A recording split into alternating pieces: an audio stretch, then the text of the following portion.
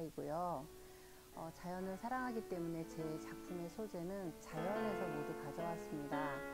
제가, 제가 사랑하는 나무와 산과 들과 하늘 그리고 오솔길 어, 모든 들꽃들 그런 것을 저의 작품에 전부 반영을 했습니다.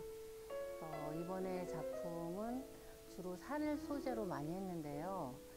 어, 산의 사계를 점을 찍으면서 표현을 했습니다. 수만 수천의 점으로 어, 봄의 산 그리고 여름산, 가을산 그리고 겨울산을 표현했습니다.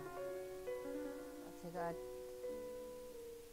조금은 욕심이 많아서요. 젊은 날에 대작을 많이 하고 싶어서 열심히 했습니다.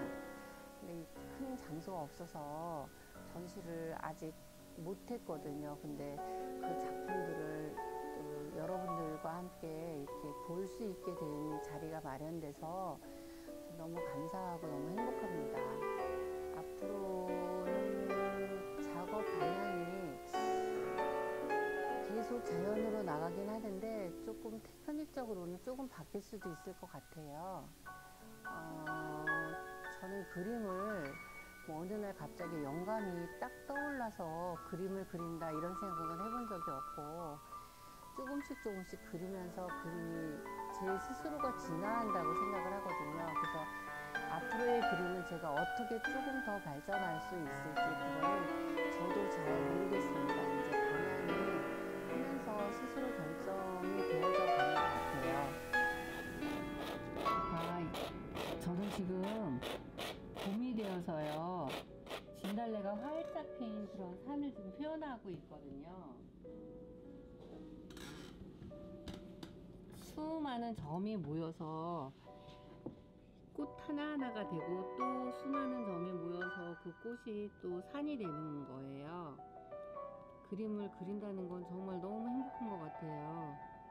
아침이면은 항상 음, 어, 작업실에 나와서 작업을 하고 또 그 다음에 그림을 그리면서 또 너무 돛 닦는 거나 똑같은 것 같아요 이게 아무 생각 없이 하기도 하지만 어, 사람이 어, 어, 선량해지기도 하고 행복해지기도 하고 또 반면에 엄청 단순해지는 것 같은 느낌도 들어요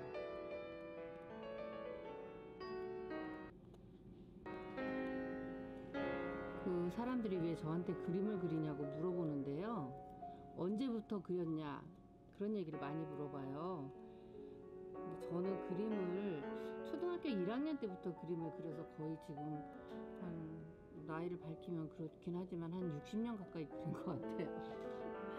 근데 그림에 대해서 지루하다거나 뭐 그리기 싫다거나 이렇게 생각해 본 적은 없는 것 같아요.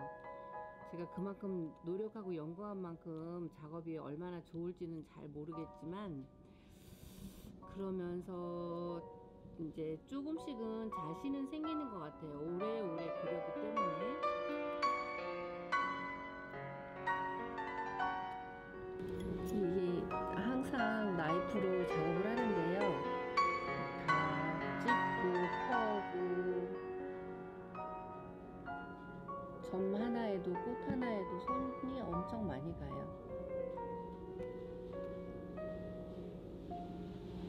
어떤 분들은 이렇게 점을 찍으면서 이게 아, 어, 희망이라고 얘기하는 분도 계시더라고요. 제 그림을 보면 희망이 보인다고.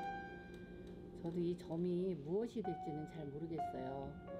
산의 꽃이 될지 아니면 바다의 모래가 될지 파도가 될지 아니면 어, 촛불이 될지 보는 분들마다 다 또 다르게 이야기를 하시니까 이제 그런 거는 여러분들 그 생각에 다 맡길, 맡겨야 할 것 같아요. 저는 일단 꽃을 그리고 있습니다.